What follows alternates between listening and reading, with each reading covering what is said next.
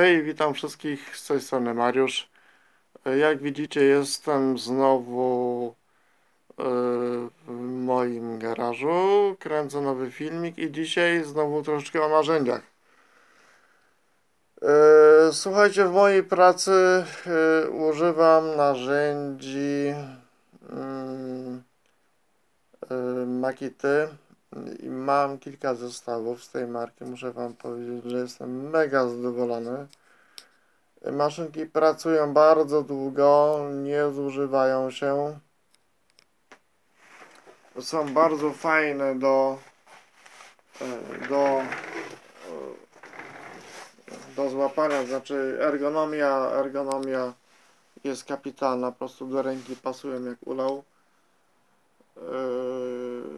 Są w jednym kolorze, także u klienta to widać.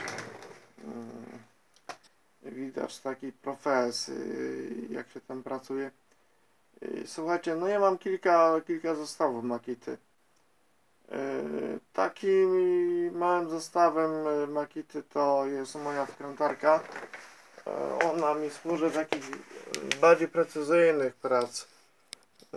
W klimatyzacji to, to do odkręcania obudów, yy, klimatyzatorów, yy, rozkręcania parowników, przy chłodnictwie też przydaje się. Tutaj jest bardzo szybka ładowarka. Akumulatory, słuchajcie, są litowo-jonowe, jak pamiętam. Nie wiem na ile to widać. To Made in Japan. O, Achi Japan, widzicie? Ale Made in China oczywiście. No i to jak wszystko dzisiaj. Litowo-jonowe, litium-jon, tak, 2 godziny. Także muszę wam powiedzieć, że ładowanie to jest mega szybkie tego wszystkiego. I jeżeli chodzi o moc y, tej, tej wkrętarki, no to ona jest, y, no, w takim dosyć grubym metalu potrafi, potrafi się wkręcić blachowkrętem. Y, Także jest całkiem ok. Przy, przy, ona mi się też świetnie z, sprawdzała przy, mm, przy naprawach blacharskich, przy na przykład przy, o widzicie, ona ma takie światełko tutaj, także widać co kręcicie. Jest, jest naprawdę fajna sprawa, jest ok. O, ona już widać trochę popracowała, bo ma wytarte tutaj widzicie ten y, napisy, no ja chyba najczęściej korzystam z tej wkrętarki, bo ona jest lekka i poręczna, także naprawdę, naprawdę wiele ma zastosowań, także polecam jak ktoś chce to coś sobie kupić, to jak najbardziej. Słuchajcie, następny mój zestawik to jest taki walizka Makity. To jest trochę większa wkrętareczka na 12V. Mniej ją wykorzystuję z racji tego, że mam tą małą. No ale gdzieś tam troszkę większe prace, no to już y, jakie zakładanie szyn kablowych, czy, czy, czy mm, przekręcanie listw, no to, to ta wkrętarka już spokojnie. Tutaj mam takie mm, pola narzędziowe, szufladki, jak widzicie.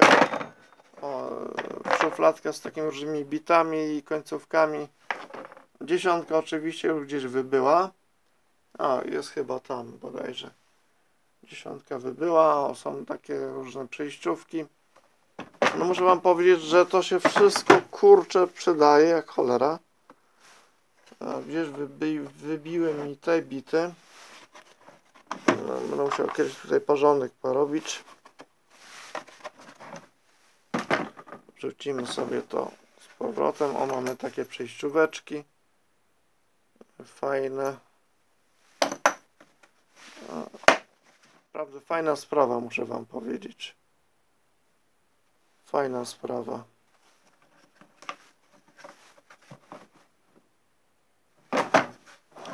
No, Co jeszcze chciałem wam pokazać?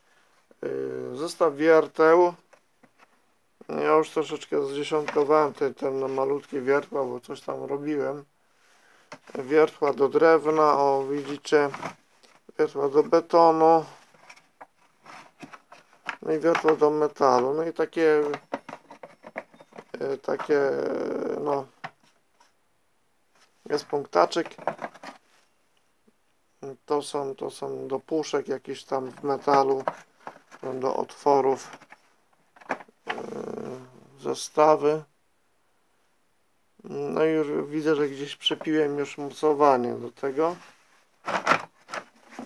Pewnie gdzieś jest, no ale szukać. No i taki zestaw.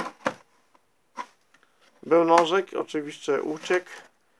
Mamy, mamy poziomnicę, mamy o, jeszcze prawie nieużywane. Nawet ich nie mogę otworzyć dobrze. Gdzieś wody chyba dostały. Szczypce, kombinery. Kombinery to jak najbardziej ok.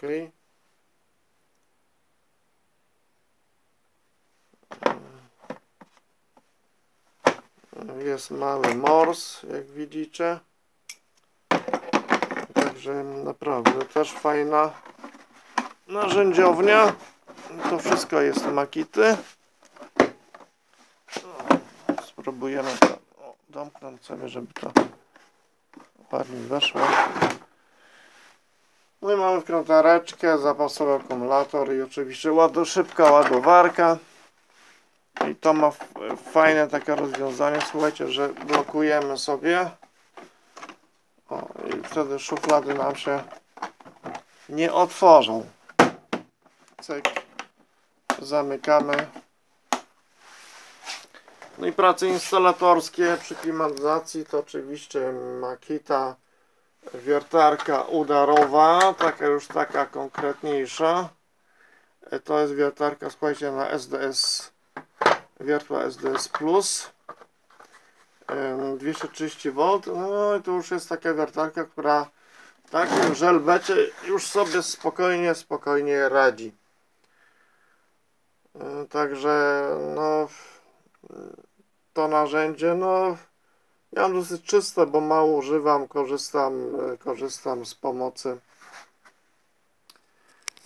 kolegów przy instalacjach, oni tam mają swoje też narzędzia Milwaukee i DeWalt. Także ta moja Makita to tylko jest tak awaryjnie używana, dlatego ona jest takim praktycznie no, w stanie nowym, no, nie, nie ukrywajmy, czyściuteńka, nic tutaj jest wiertło 6 mm do, do kółeczków. No i słuchajcie, Makita wkrętarka taka większa, ona już, słuchajcie, dostała swoje wdóbsko, o, też ma takie, widzicie, podświetlanie. O, jest ciężka wkrętarka, 18V, z dużym momentem, mimo że ona naprawdę już się nakręciła w metalach, przy kołach, to zobaczcie, ona cały czas jest sprawna. Ta wkrętarka, ona ma słuchajcie, około 10 lat i zobaczcie, ona cały czas jest sprawna. Ja tu nic w niej nie grzebałem, już jest wytarty napis z jednej strony. I to powiem wam, robi robotę, kurczę, że hej, no. Naprawdę super sprawa.